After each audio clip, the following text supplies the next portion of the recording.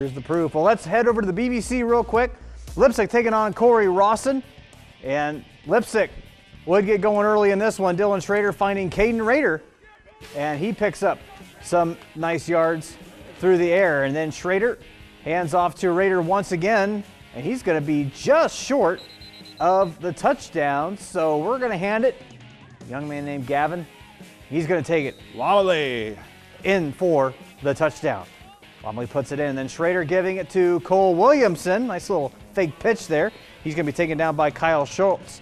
Then Tommy Stauffer makes a nice run here. In fact, he's going to break it and take it all the way to the house for the touchdown.